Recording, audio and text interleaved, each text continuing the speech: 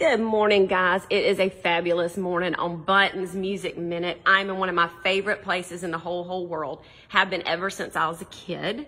And this is where I find lots of songs of joy. This is my church. I've been singing in this church since I was four.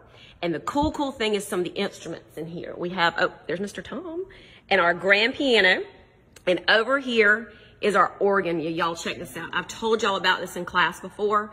Look at this. You've got two keyboards up top and you've got a keyboard down at the bottom for the organist to play with their feet. It is so cool. And all of these keys and these different switches up here are connected to these pipes. Can y'all see that?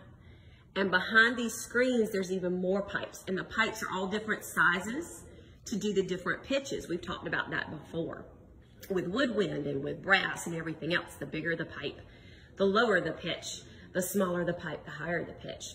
And our organist, Miss Karen, when she plays, she uses all of these keys and all of these keys to make the awesome, awesome sound. My song of joy for today is Amazing Grace.